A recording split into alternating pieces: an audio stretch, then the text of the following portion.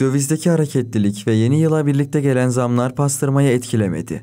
Pastırma başta olmak üzere et ve et ürünlerinde %10 indirime gidildi. Yukarı yönlü dalgalanma ve ham madde girdilerindeki fiyat artışları birçok ürüne zam olarak yansımıştı. Yeni ekonomik programın açıklanması sonrasında sert şekilde düşen kur ise ürünlerde aynı oranda indirim beklentisi oluşturdu. Ancak indirimler piyasaya tam anlamıyla yansımış değil. Bugün itibariyle Kayseri'deki bazı firmalar et ürünü olan pastırmaya %10'luk indirime gidildiğini açıkladı. Şu an gün itibariyle bugün yani bir firma yani büyük bir firma, lokomotif bir firma, Kayseri'nin lokomotif bir firması %10 indirime gittiğini e, bize bildirdi.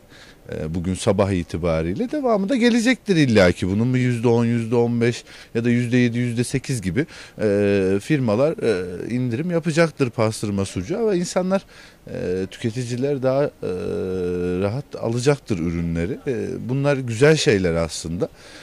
Tabii yılbaşı başlarken yıl girdiği anda zamlar başladı ama devamı da hani durulması ve e, şu an indirim yapıyor olmaları e, bizleri sevindiriyor.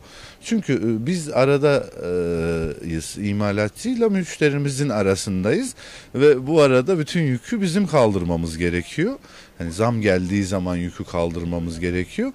Yani bu yüzde onluk yaptıkları indirim de bizi güzel yönde etkileyeceğini düşünüyorum ve sonrasında diğer firmaların da bu uygulamayla bir, bir nebze olsun insanları rahatlatacaklarını, tüketimlerini kolaylaştıracaklarını düşünüyorum. İndirimler şöyle, e, direkt bunlar e, imalatçı firma yansıttığı için e, biz de haliyle %10 etiketlerimizde indirime gitmemiz mecburi olacak.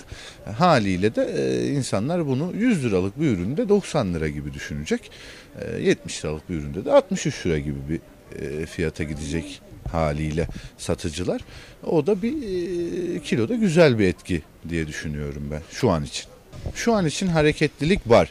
Ee, bizler daha geçmiş günleri gördüğümüz için 2000'li 2001'li yılları hatta ve hatta ben 5 Nisan kararlarında gençtim.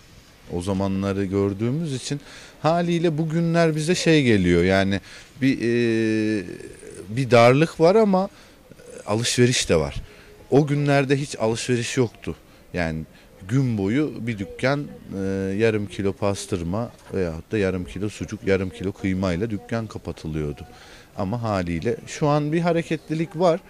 Tabii ekonomik bir problem var mı? Herkesin bildiği gibi var. Ama e, gramajlar düşüyor. Bir kilo olacağına 750 oluyor.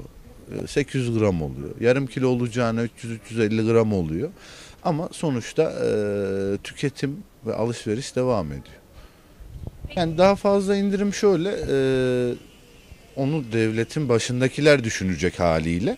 Tabii herkes kendi kapısının önünü süpürdüğü zaman herhangi bir problem olmaz ama burada e, raiş fiyat uygulayan şirketlere biraz daha önlem alınırsa e, daha kolay olacaktır bu meseleler. İşte kur artışları, ona benzer manipülasyonların olduğu yerler kontrol altına alınırsa e, fiyatlar yükselmez. Tabi bu dünyada olan bir şey haliyle e, pandemiden sonra %39.12 olarak açıklamışlardı dünya genelinde Birleşmiş Milletler açıklamıştı yanlış hatırlamıyorsam. Ee, bizde de bunun bir %10 %20 üzerinde tahmin ediyorum. Yüzde yüzde on, yüzde on beş üzerinde tahmin ediyorum e, zam oranları.